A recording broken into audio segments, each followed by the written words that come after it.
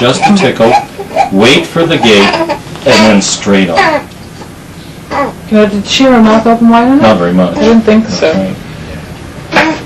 Now, see, her chin is on the breast, but not her nose, Yeah, and she covers more of the areola with her lower lip than her upper lip. Now, you see the pause in the chin there? Yeah. Right There, there, there, there, there. That pause in the chin is a mouthful of milk. Every time you see that, you know she's getting a mouthful.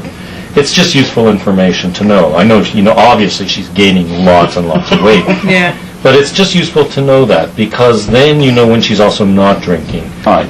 And if your nipples are sore, that